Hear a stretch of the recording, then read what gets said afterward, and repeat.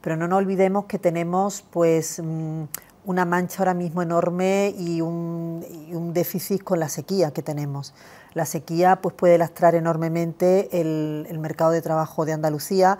Eh, ahora mismo pues, nos está quitando casi un punto de PIB, pero si no llueve este otoño podemos llegar a bajar hasta siete puntos del PIB. Fíjate que, que en la pandemia el PIB de Andalucía bajó un 10% cuando estaba todo cerrado, cuando estaba la, actividad paralizada.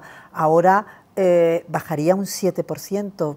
Las estimaciones que se puede llegar a destruir hasta, hasta 145.000 empleos. No obstante, los últimos datos que, se están, que se están eh, viendo por, por, por, lo, por lo, quien estudia el mercado de trabajo, eh, pues establece un incremento de la ocupación del 2,5% para, para este ejercicio, un 2% para el, próximo año 2024, una tasa de desempleo como la que tenemos ahora en este ejercicio, un 18%, pero para el 2024 se rebajaría un 17%, con lo cual vemos que, bueno, que el mercado de trabajo andaluz tiene pues visos de, bueno, de mantener esa reactivación que, tiene